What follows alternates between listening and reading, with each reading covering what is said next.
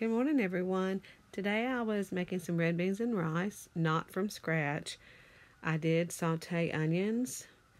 I saute my turkey sausage, and I did use a cast iron skillet, but you can use any skillet that you choose. I didn't. Um, I added a little olive oil to the bottom when I was sauteing the onions.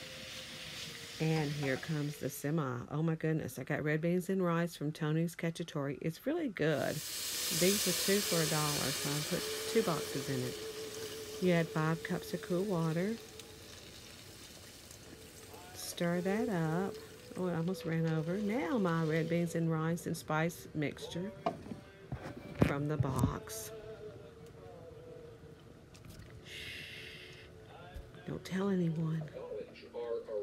Now let it cook for about 25 minutes till it all thickens up. And I put that in my crock pot to keep it warm for when my family comes home for lunch. I have leftover corn on the cob from Sunday, and I have leftover biscuits from Sunday, and I made a side salad, which is, there it is.